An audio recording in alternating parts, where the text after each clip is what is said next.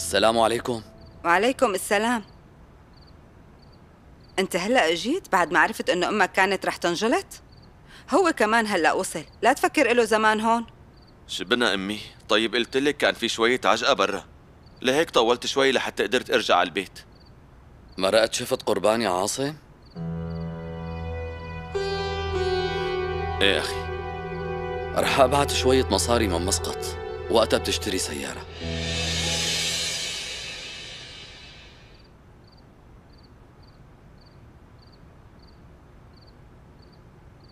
يعني انت امي أنا غيرت رأيي. رح ارجع سافر على مسقط. عن جد؟ كنت بعرف كنت بعرف انك رح ترجع لعقلك. ابني بيعرف المسؤولية. بكرة بتشوف هالقرار لصالح الكل. برافو عليك. الحمد لله ما رح تندم على هالقرار.